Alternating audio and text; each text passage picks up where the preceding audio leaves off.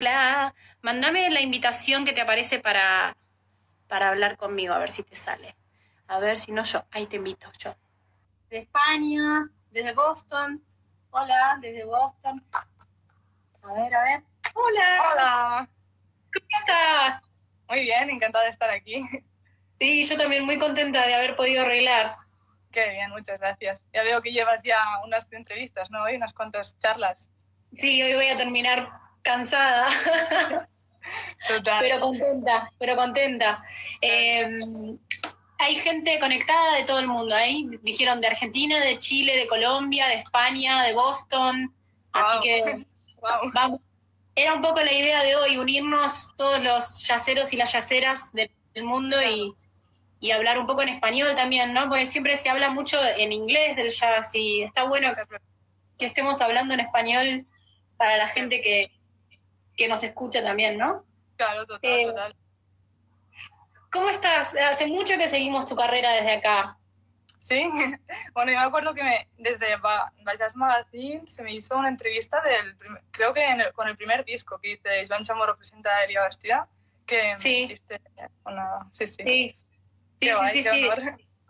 No, bueno, es el resultado de, de tra- del trabajo que vos venís haciendo. Eh, está bueno, está bueno. Está bueno unirnos entre, entre los músicos. Yo sabés que Jazz Magazine lo empecé a hacer porque yo tengo dos discos editados. Cuando saqué el primer disco hubo mucha difusión, se movió mucho. Y el segundo disco me preocupé mucho por la producción y por el disco en sí. Y cuando terminé no tenía más energía para difundir. Y dije. ¿cómo puede ser que no haya tantos medios que se encarguen de difundir el jazz? Es verdad. Entonces me enojé y dije, bueno, voy a hacerlo yo, no me Bueno, estás importa. haciendo muy buen trabajo, la verdad es que es, admirable, sí, sí. Gracias, gracias.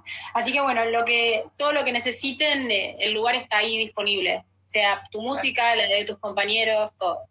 Eh, estuvimos hablando hace un rato con Joan, que nunca aprendí a pronunciarlo, porque los argentinos con, el, con la sh- ya llegué, jazz, somos un desastre.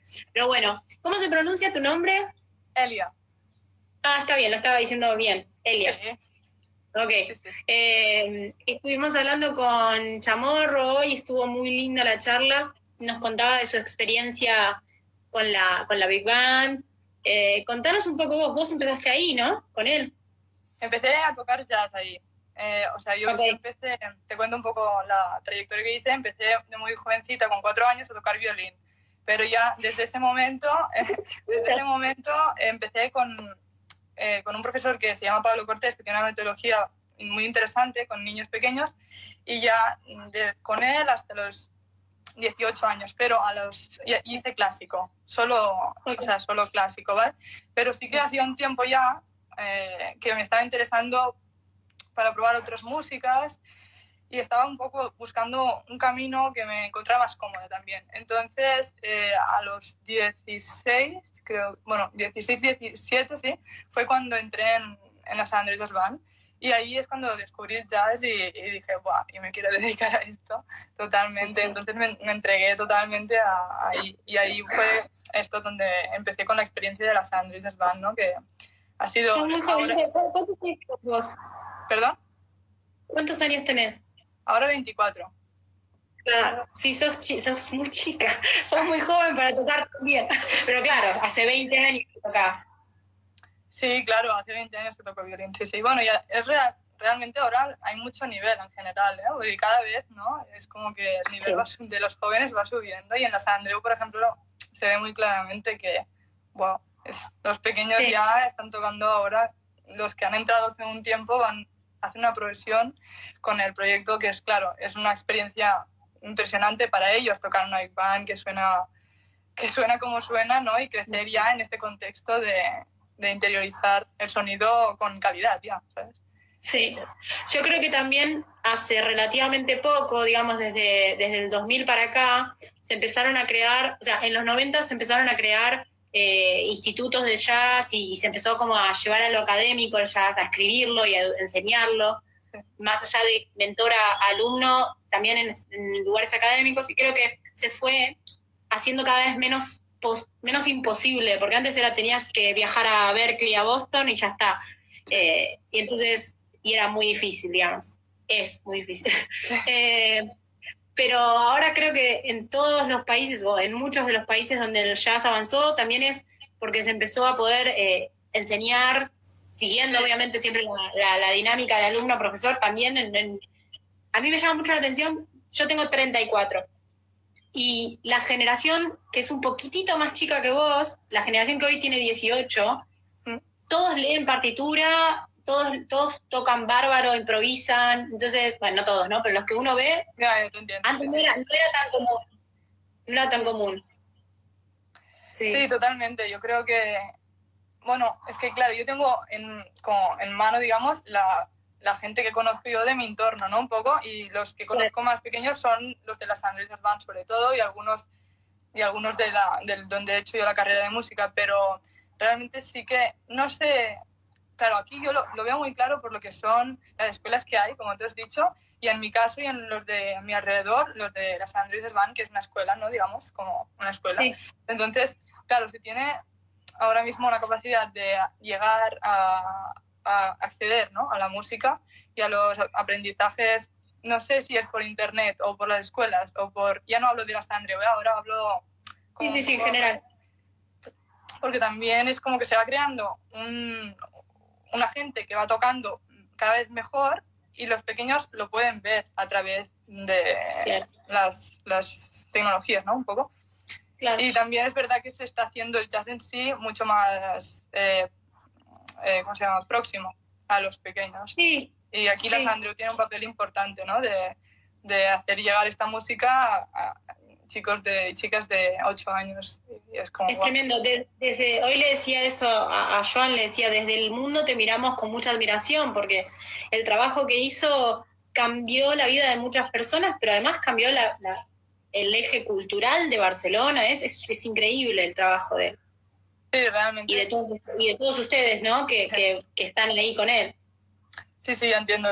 Bueno, sí, entiendo que es, que es un cambio heavy a lo que es la educación del jazz y al panorama donde esté el proyecto, ¿no? Un poco, sí.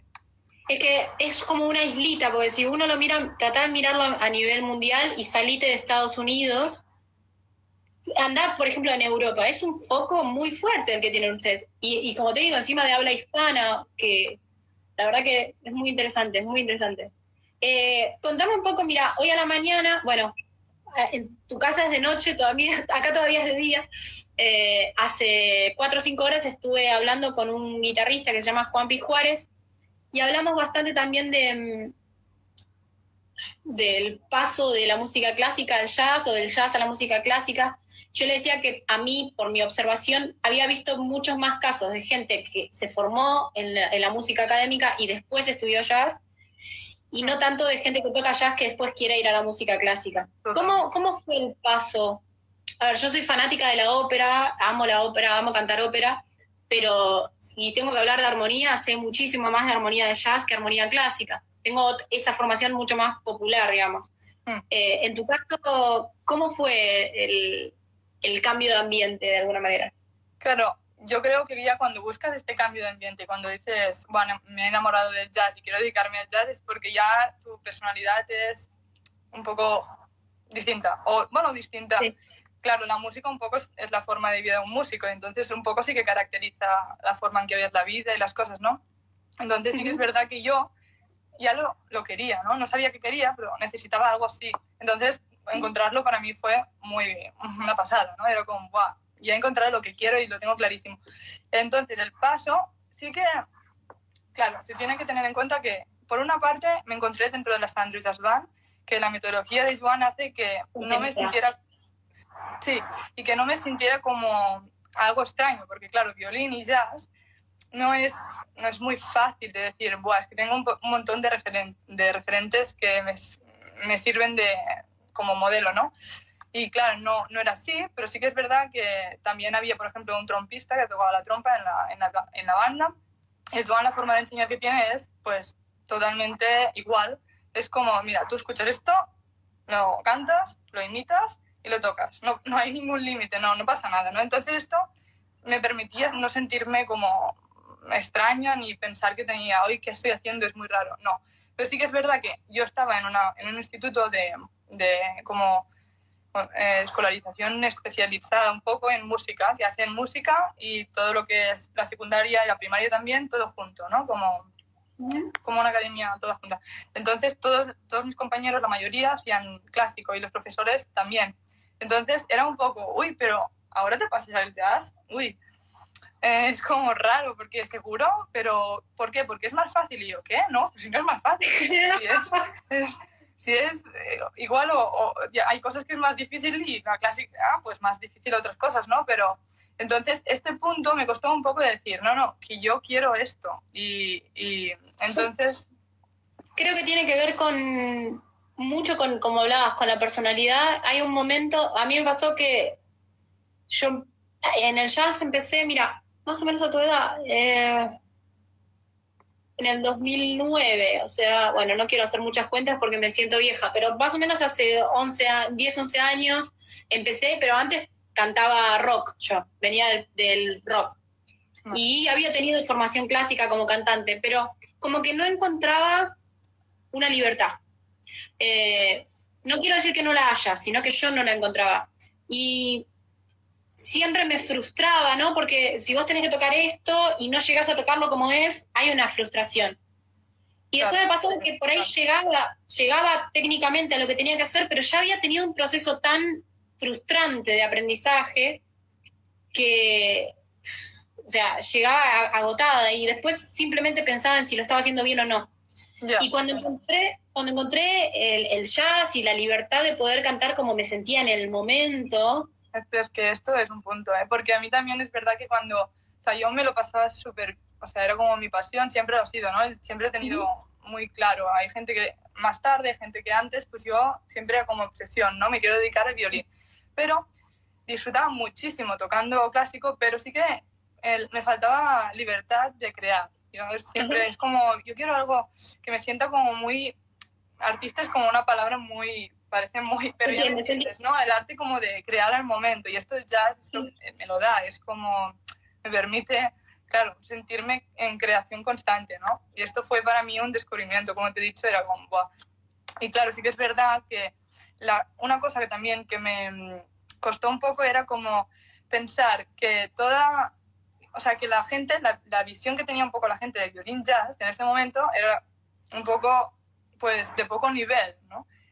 Sí, o muy asociada al gypsy, ¿no? También. Sí, sí, al gypsy, esto sí que tiene mucho nivel, pero o al gypsy o como, bueno, hace música moderna, pero sí, cuerda, o sea, un instrumento de cuerda haciendo música moderna, es como... Sí.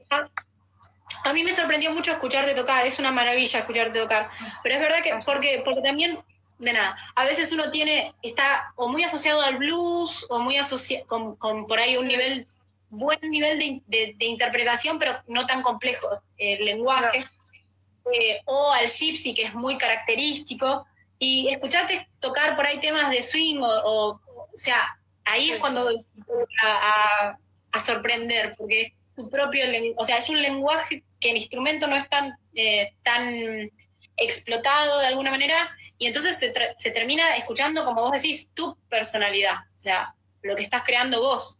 Eh, mm. Y eso un montón, es una maravilla.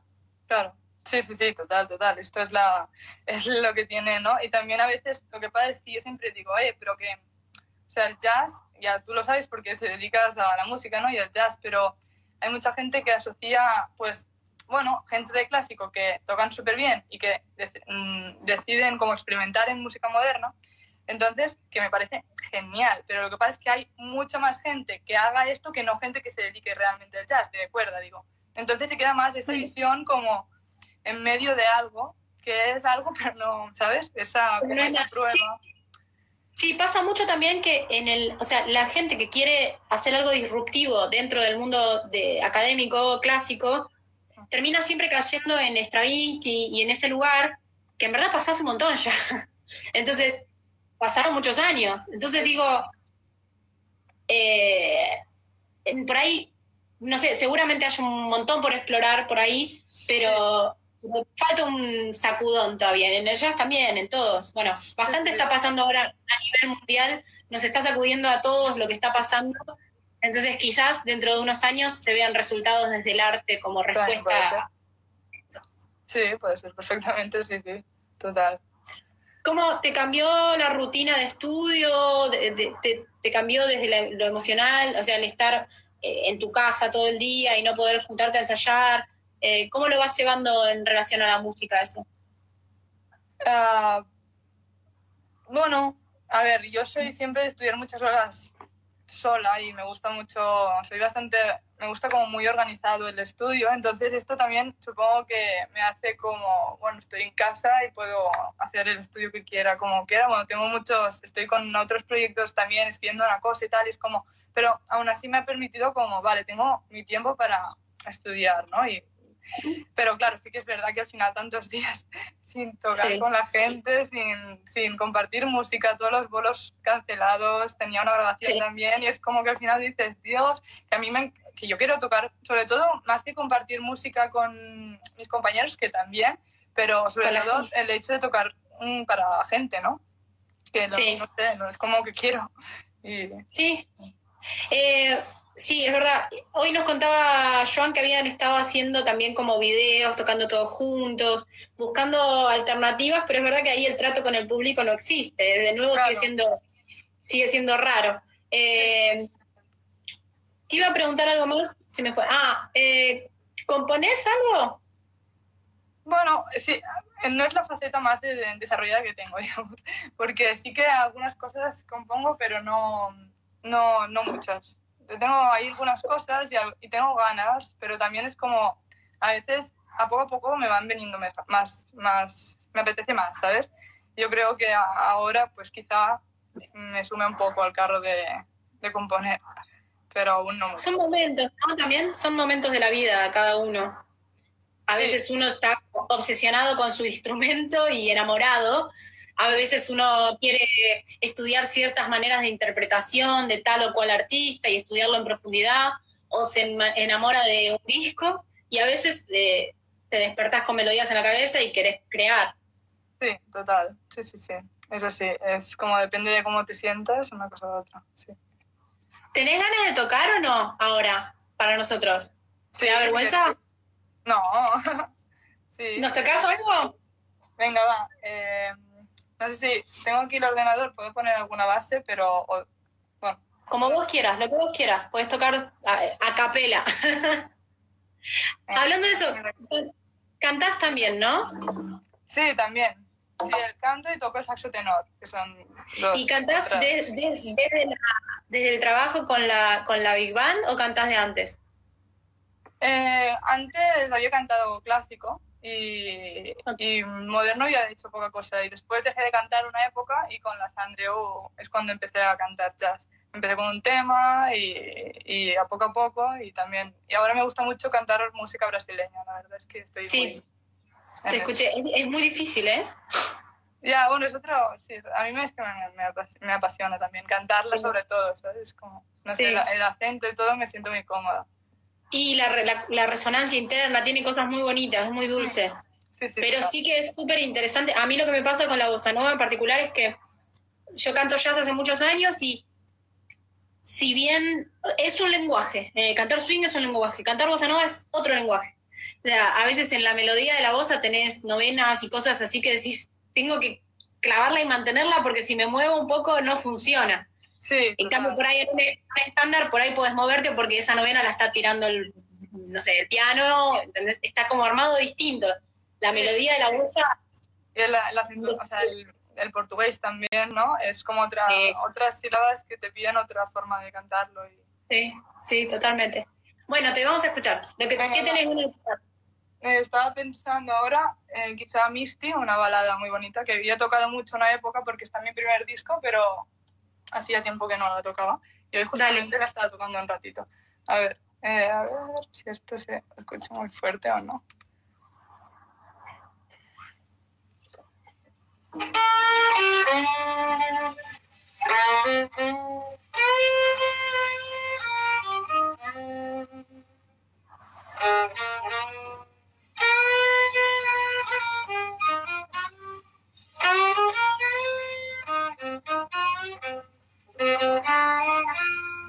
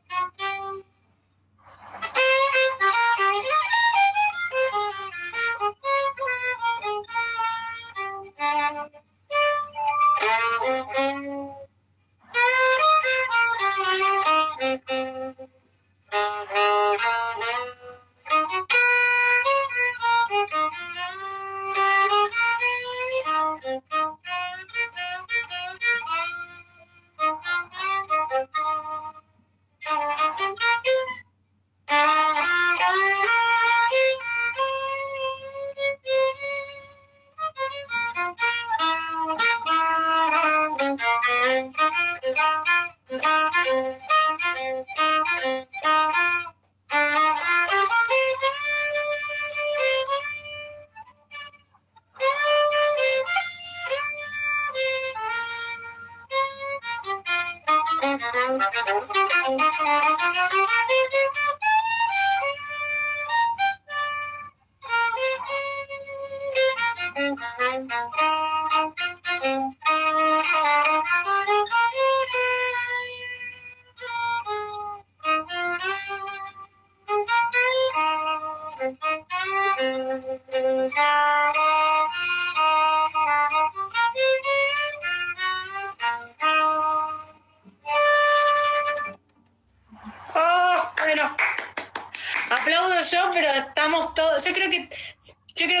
Estamos con la misma cara, que es como, ah, qué lindo. No sé si se oye muy bien desde aquí, pero bueno. Sí, se escucha que bien. no distorsionaba mucho.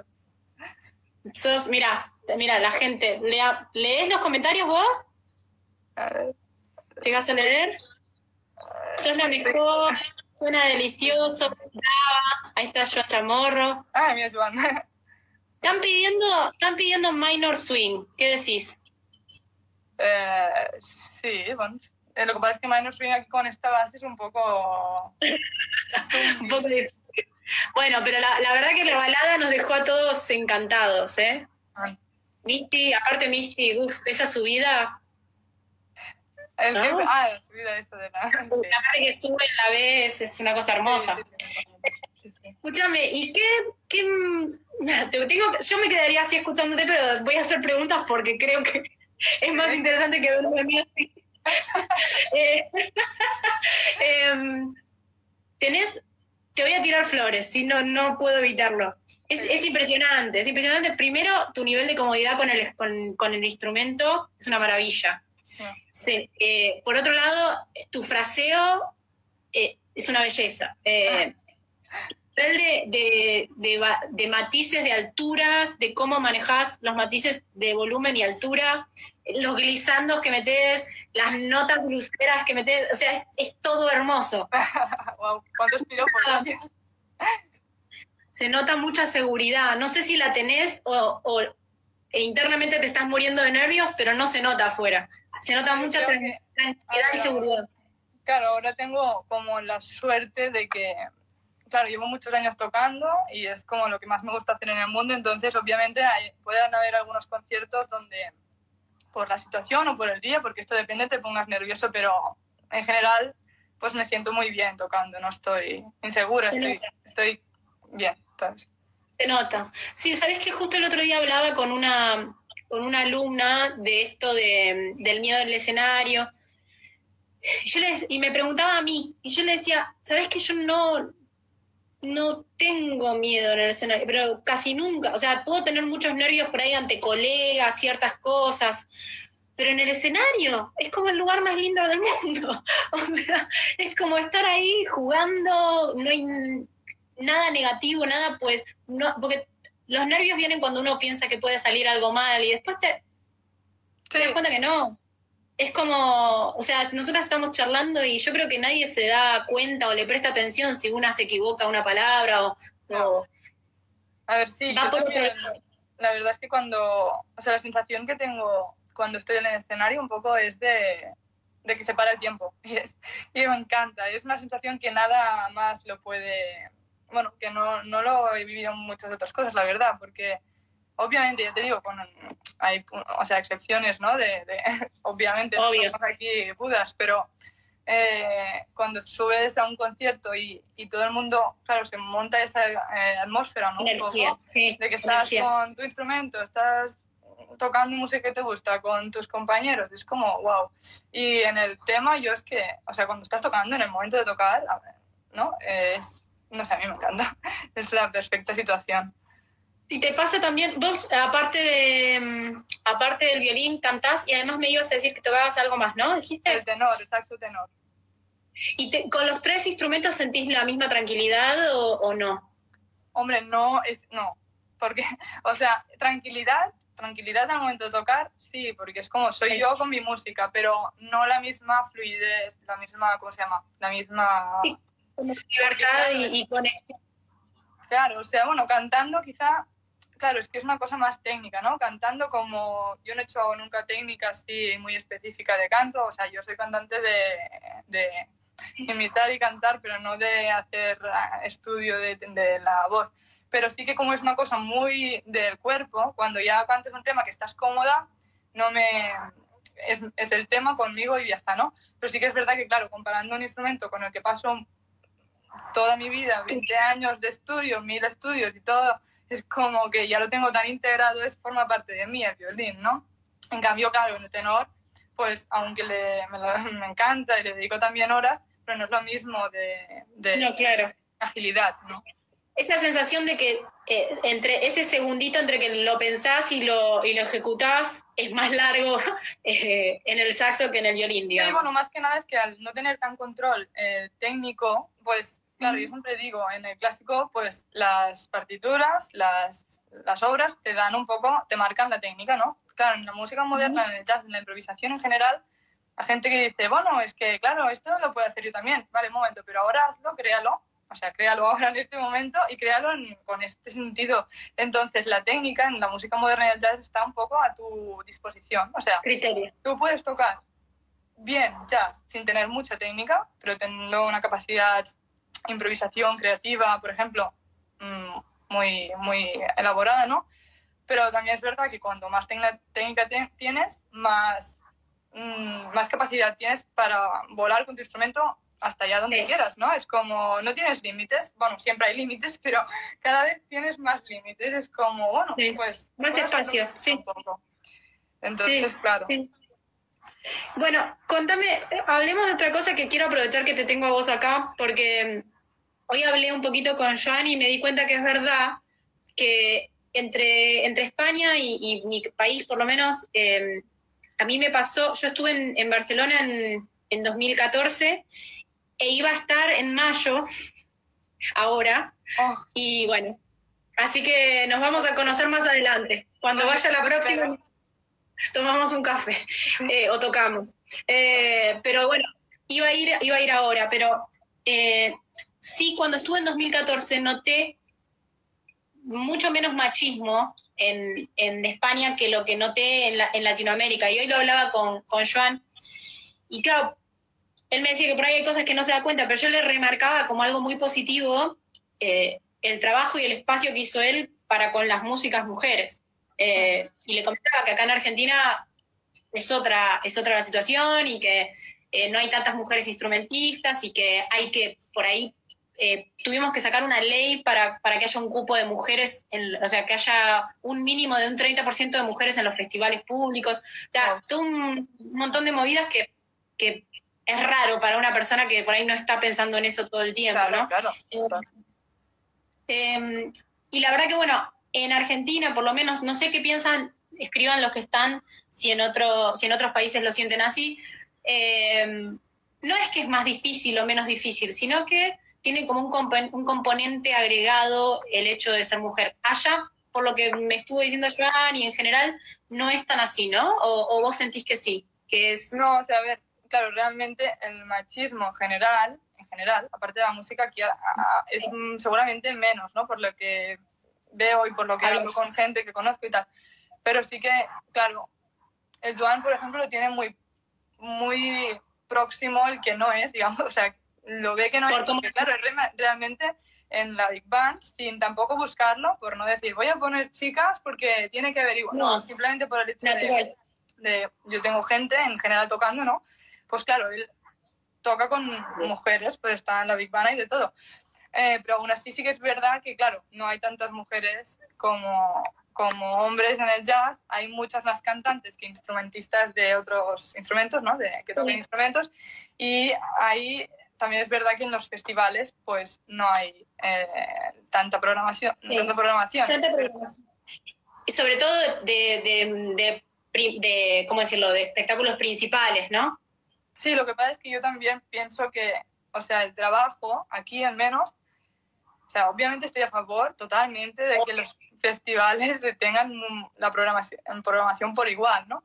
Pero sí que es verdad que pienso que el trabajo a hacer está más a las escuelas, más a la conci- a la conciencia de los niños, ¿no? Porque, claro, si tú dices, festivales tenéis que programar más mujeres, pero dicen, pero ¿a quiénes, no? Un poco. Claro. Porque claro, podrán, las, cual. can- las cantantes, por suerte, es lo que al menos ha mantenido, ¿sabes? Ha mantenido que Sí. haya más, más mujeres, pero si no, mujeres que realmente toquen a nivel de los festivales eh, de nivel que hay y que pueden, pueden estar ahí, tampoco lo tienen tan fácil. No lo estoy, no lo estoy excusando. entiendo pero simplemente digo que tiene que, claro, se tiene que crear de base. El trabajo es a mediano plazo, digamos, empezar a educar, empezar a darle más espacio a, por ahí a las nenas en la educación y Claro. formarlas para que puedan tener el mismo nivel y que Claro, que vean que, que, se- que no, hay ningún, o sea, no hay ninguna diferencia, es totalmente igual, es lo mismo. Y entonces aquí será cuando ya se podrá decir, eh, programarlas, ¿sabes? Tiene que estar ahí, ¿sabes? a la altura, sí. En la música clásica también pasa, eh, en general, ¿no? Que hay como instrumentos permitidos para mujer e, in- e instrumentos permitidos para hombre y, y que hay muchos más de un instrumento mujer, ¿no? Eh, por ejemplo, te doy un ejemplo tonto. En Argentina, por ahí hay muchas mujeres psicólogas, pero no hay muchas mujeres ingenieras. Hay muchas mujeres enfermeras, pero no hay tantas mujeres, no sé, arquitectas. Ya, ya, Entonces, es verdad. Mm. eso fue el pasado que dejó consecuencias ahora en las profesiones. Pero si ahora se empieza a fomentar que cualquier nena puede estudiar cualquier cosa y no está, no está mal visto por la sociedad, en el futuro mejorando. ¿Vos Claro. sentías eso que había más instrumentos, no sé, más contrabajistas hombres o más flautistas mujeres? Sí, a ver, es que no sé, es que depende de dónde lo mire, ¿no? Porque en, en clásico dices, o en... Sí, sí, en clásico era la pregunta. Mm, Cuando fuiste creciendo más que nada, digo, no sé si hoy, pero... Ya, no, hoy no. Es que la verdad es que no te sé decir muy bien, porque como, eh, bueno, y a ver, quizá menos pianistas chicas, pero es que esto quizá lo oí otro y dice no, ¿sabes? Pero bueno, menos Claro, cada pianistas chicas, también quizá menos trompetistas, aunque yo conozco muchos porque está, Claro, eh, es que, claro, Andrea, el Barmengo, etcétera, etcétera, ¿no? Pero, Sí. eh, quizá también mm, trombonistas, hay muchos más chicos. Claro. Bueno, yo, por ejemplo, creo que no conozco ninguna trombonista mujer, ¿eh? Me pongo a pensar y digo, no tengo... Claro, bueno, de clásico yo no, de moderno sí que conozco a la Rita Payés y a alguien más, pero porque claro, Ah, yo- verdad, Rita, pero es que hay muy pocas, muy pocas. Y Sí. mm, claro, sí que es verdad que esto se tiene que romper un poco, ¿no? De decir, y también a veces que es como, en este instrumento la gente toca, o sea, hay mujeres que tocan, pero eh, los hombres son los que se pasan más al moderno. A veces también lo he visto, si te lo paras a analizar se puede encontrar estas cosas así como... Sí. ¿no? Sí, es interesante y es interesante que lo hablemos también entre nosotras y que nos conectemos y trabajemos y, y- y que eh, en mi caso, yo no sé si a vos te gusta o te interesa dar clase, a mí me encanta dar clase, Sí, amo dar clase. Sí, a mí me encanta también, sí, sí, sí. Entonces también es un poco nues- eh, esa responsabilidad que uno tiene también de ir incentivando, ¿no? Claro, sí, sí, sí, la verdad es que sí, de, de ver, de darles la, sobre todo darles la seguridad, ¿no? De que lo pueden hacer sin ningún problema, que es como súper normal, ¿no? También al vernos a nosotras, claro, tener una profe mujer ya es... Ya es un montón. ¿no? Dicen, ya está ella, ¿no? Que es como, es mi profesora y es mujer. Pero Sí. obviamente sí que, sí, sí. Bueno, y contame, ¿cómo, cómo vas llevando ahora um, el cambio de, de proyectos, ¿no? Como decir, bueno, a ver, viene mayo y todas las, las fechas, todos los, ¿cómo le dicen ustedes? Bolos, ¿no? Sí, bolos. Nosotros decimos, sí, tocadas, fechas. Eh, todo lo que uno había programado, o como te digo yo, que me iba de gira en mayo, eh, todas estas cosas eh, hay que reprogramarlas muy rápido en la cabeza. Yo en mi caso estoy trabajando mucho así, grabando videos o corrigiendo cosas que tenía viejas, estudiando. ¿Vos qué, qué, qué estuviste haciendo estos días o pensás hacer? yo ahora estoy escribiendo una cosilla que aún no puedo dar muchas informaciones, pero estoy en eso sobre todo, que ya, daré, ya pondré cosillas por las redes, ¿no? Y he estado sobre todo en este proyecto y después eh, también, claro, pues pensando un poco, o sea, en choque un poco de decir, wow, porque es esto, tenía, o sea, ahora he sacado un disco hace unos meses con con Joan Chamorro, eh, después Josep Travé, Carla Motis, un batería y Scott Hamilton, ¿no? Que se llama The Magic Sound of the Violin. Pero después de este teníamos programado hacer una grabación con Scott Hamilton eh, en, el, en el Jamboree en junio, o sea, ahora. Y dudo muchísimo, o sea, es como que no creo que se pueda hacer eso. Es que Ahora, por lo menos más, por ahora no, más adelante. No, claro, ahora no, adelante lo haremos seguramente porque es el proyecto que tengo como después de ese disco que he sacado. Pero claro, que es como, vale, o sea, te da la sensación de que, claro, que todo eso que le das tanta importancia, que ya, o sea, estás estudiando y estás estudiando para cosas que tienes, ¿no? Que, que tengo la suerte de tenerlas porque es como, buah, te da un, un ritmo que es impresionante, ¿no? De, venga, ahora, este, ahora esto. que avanzar. de repente es como, vale, parón, no hay, no hay esto, no hay conciertos, no hay grabación, o sea, estudiar para, para avanzar y punto. O sea, ya, ya se hará, ¿no? Sí, también, no sé si a vos te pasó, a mí me pasó que, de nuevo, por ahí tiene que ver con la diferencia en los países, ¿eh? Pero a mí me pasó que, por lo general, yo no, mis, mis amigos de toda mi vida eh, no son músicos, son, porque yo empecé más gran, mucho más grande que vos y mis amigos, no sé, mi mejor amiga es matemática, otro hace otras cosas. Y por lo general, a, la, a mí, a mi carrera, a mi profesión se la veía como más inestable que las de los demás. Mm. Y claro, y sin embargo en este momento se está cayendo el mundo y yo estoy como, yo sé que la música siempre la voy a tener y siempre voy a tener algo para hacer. O sea, al revés, como que reivindiqué muchísimo la seguridad que te da la música. por ahí no la industria, no la industria por ahí no, pero, pero hoy en día con internet uno puede crear constantemente, eh, compartir esto que estamos hablando, ¿no? que de alguna forma yo siempre lo digo, si nos ponemos a pensar, o sea, filosóficamente y, personalmente, es esto que tú dices clarísimamente, o sea, es como, es la, tu pasión es tu trabajo y después cuando no hay trabajo sigue, sigue ahí la pasión. Sigue siendo tu pasión. Pero aparte, si nos paramos a pensar un poco económicamente, de hecho, eh, son de las, de las eh, profesiones que se pueden mantener más, aunque sea ganando muy poco, pero siempre puedes estar ofreciendo música y siempre puedes hacer un intercambio ofreciendo música a cambio, digo, económicamente también, ¿eh? pero siempre se necesita, siempre se necesita el arte, ¿no? En la música.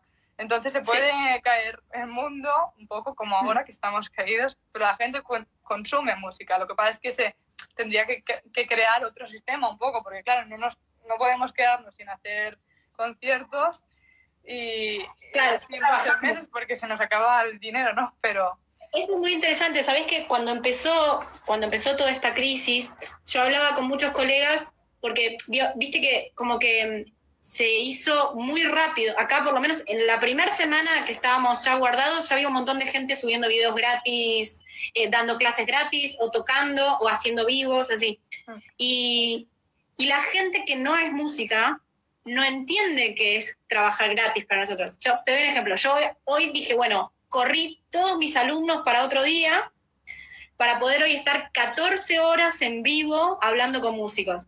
Pero en realidad yo hoy no cobro mi dinero, ¿entendés? Entonces, esto es como muy gratificante para mí y todo, pero no se ve la parte de atrás, de que atrás de, no sé, que tal persona subió un concierto tocando o una clase gratis, en verdad es cuánto tiempo vamos a poder sostener esto, o sea, porque cómo vamos a pagar los A ver, claro, yo creo que... Es Sí, yo creo que en algún momento, o sea, si esto, imagínate, ¿no? Que no se pueden hacer, a ver, espero que sí, pero que no se puedan hacer bolos hasta, de aquí sí, por favor, pero de aquí unos meses, ¿no? Es como que si pasara esto, se tendría que hacer alguna cosa de recompensación económica cuando hacemos bolos por...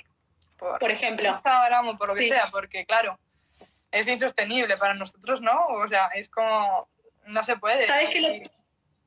El otro día vi una, un matrimonio de, de, Estados Unidos que él, él toca el contrabajo y ella canta increíble, y estaban haciendo todos los viernes, me parece, eh, por Facebook un concierto de una hora y ponían eh, su cuenta de PayPal o algo tipo tips.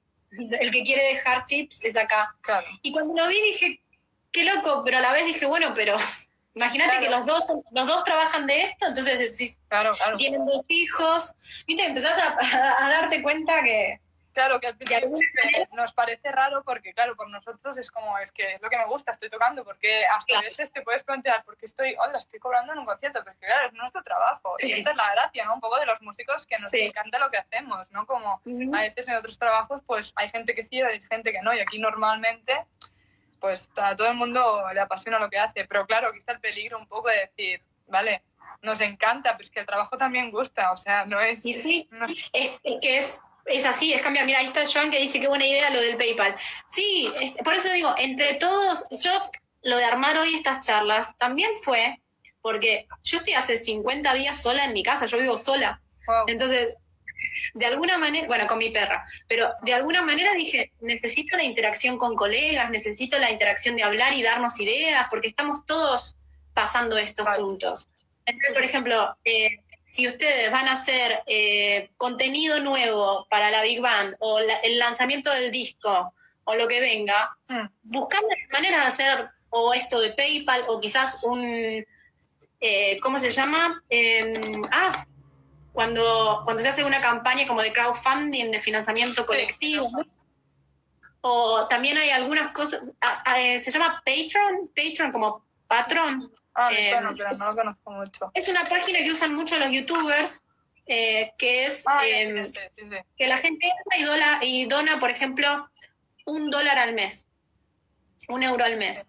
Y la gente que pone ese dinero se lleva contenido extra que lo que está subido en YouTube. Entonces, por ahí, no sé, ustedes sacan ahora un disco nuevo o están haciendo la promoción de un disco y por ahí en Patreon le- la gente que pone un dólar al mes se lleva, no sé, los videos que uno descarta de backstage o, Ah, o sí, de...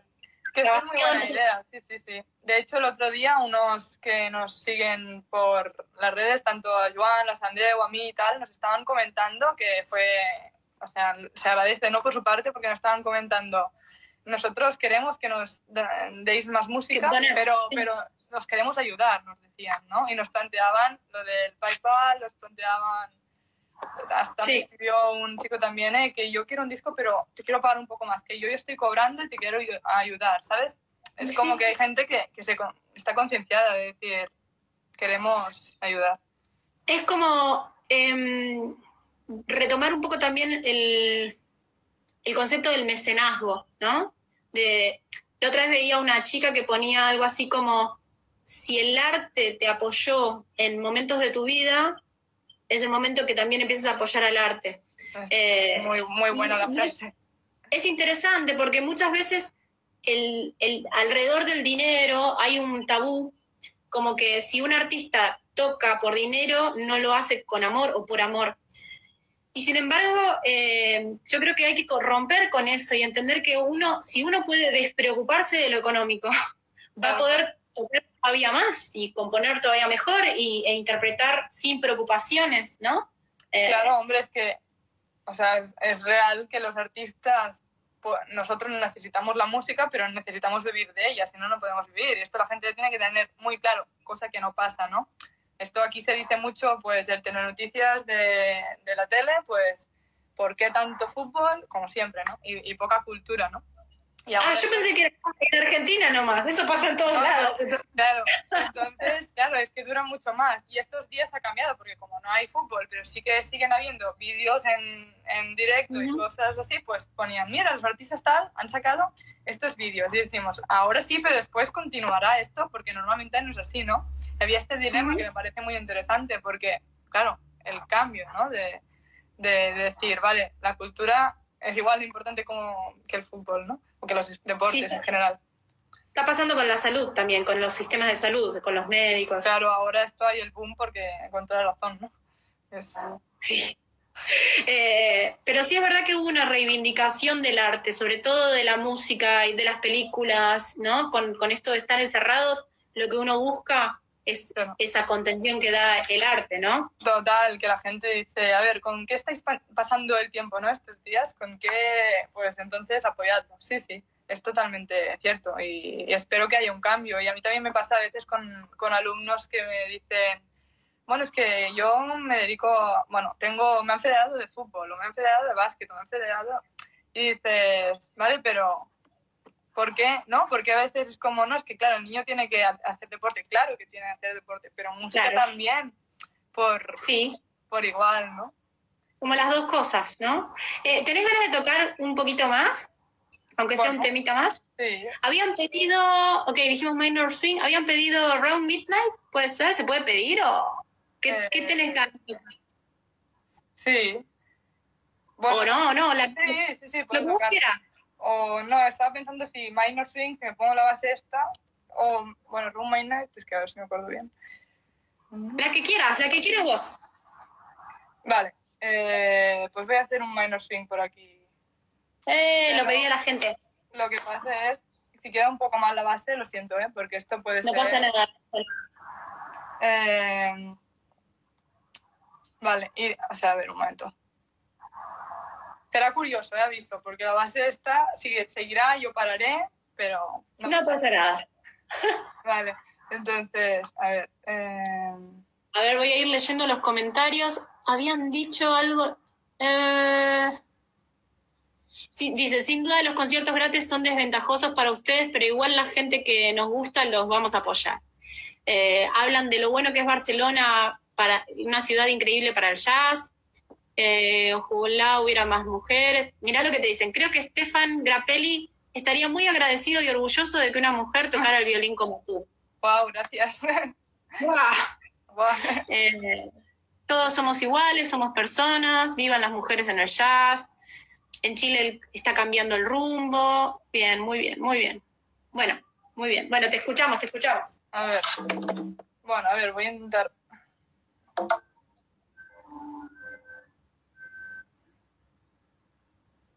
Vale, bueno, a ver qué pasa.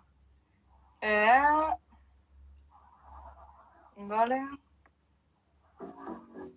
Vale, un segundo. Perdón, ¿eh? Por la espera. No, esto tranquila. es, esto da una... Mientras tanto, la gente que está escuchando, ahora cuando termine el vivo, después tienen que ir a seguir a Elia a su canal de Instagram, a las redes, también está en Facebook y escuchar los disquitos. El disco ya está en, la, en el Bandcamp de... Sí, está De ya las- porque salió en, no- salió en nove- noviembre, lo tengo por aquí, creo. A ver, a ver. Aquí está. Bien. ¡Eh, qué lindo! Entonces Bueno, se, se- se puede adquirir por el, el Bandcamp, por Just to Jazz y por Amazon también y también pues estaba en Spotify, en vídeos en YouTube, en el canal de Joan Chamorro, etcétera, etcétera. Genial, genial. A Bueno, ver, te escuchamos. a ver si se oye esto bien, ¿eh?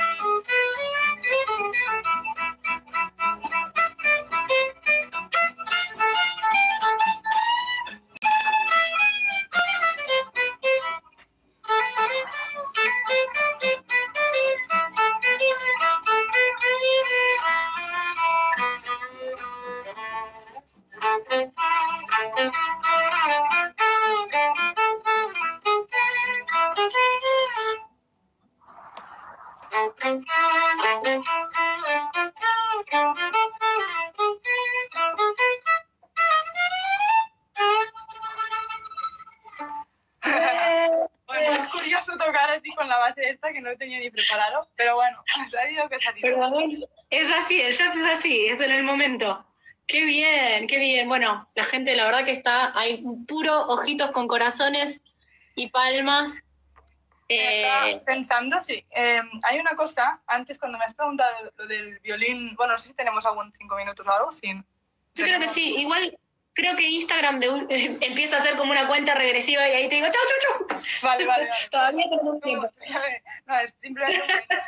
que es curioso porque cuando me has preguntado lo del violín y el, jazz, mm, Ujú. de cómo me sentía al entrar y tal, en la San Andreu y en, en el mundo del jazz, la sensación también eh, es que hay más, viol- o sea, los violinistas que hay, sobre todo son de jazz más clásico, como lo que te decías, Manouche o Gypsy, o de modal jazz, ¿vale? Hay como dos, Claro.